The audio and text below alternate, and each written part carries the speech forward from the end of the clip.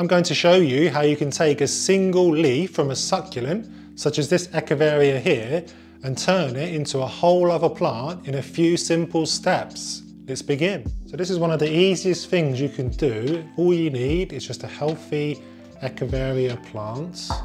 You need something to put some soil in. So I just got this uh, used takeaway box. Just gonna repurpose it, a spray bottle, and then just some nice free draining soil.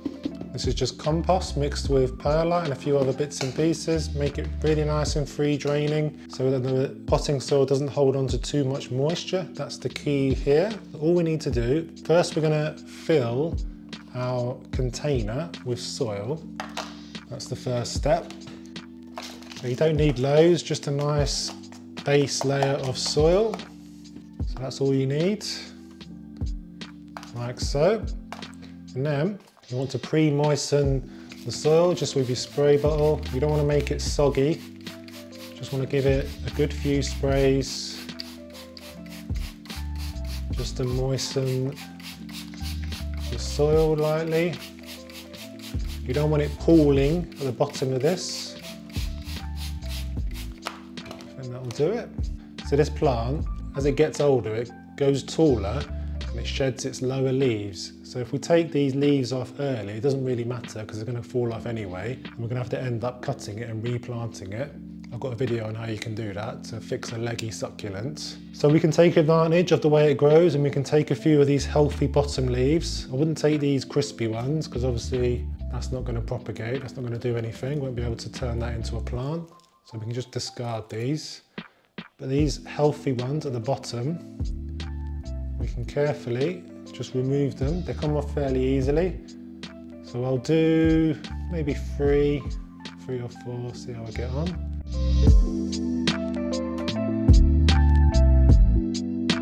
So we can set that to one side. I've got five leaves and this is just a really dead simple process. All you want to do is just put it so that the, the end that you took off the stem, that end, wants to be in soil. All you need to do is just press it in like that, give it a light press, and that's it. As simple as that. So we can go around and fill our container. So I'll put another one next to that one, like so. And in these we'll develop roots within a few weeks, probably I'd imagine three or four weeks. And then from there, you'll get the beginnings of a plant starting to sprout.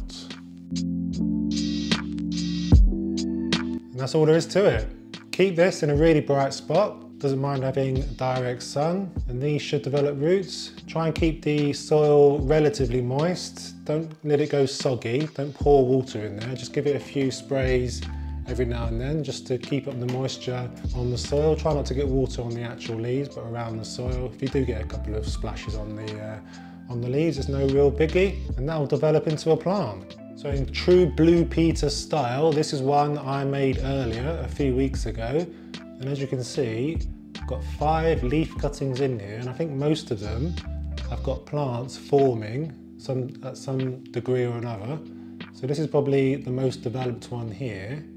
Looks really nice, a nice rosette. So that's gonna turn into a plant like that. Might take a while, does, does grow fairly slowly, but you know, if we're patient enough, we've got three plants in our hands. This one is looking quite good as well. Got the beginnings of one there, so it's a little bit slower to catch on, but just starting to develop. Same with that one there, and then that one as well. A little bit more developed than those two, but still not as big as that one. So that's the biggest success rate. So if we pull this out, we can kind of see how it develops. As you can see, the roots develop into the soil and then a new plant sprouts from that point. So eventually what's going to happen, that's going to develop into a larger plant and then this leaf that we use will eventually shrivel up and die. Its use will be finished, so then we just pull that off and that, we'll leave that to continue to grow.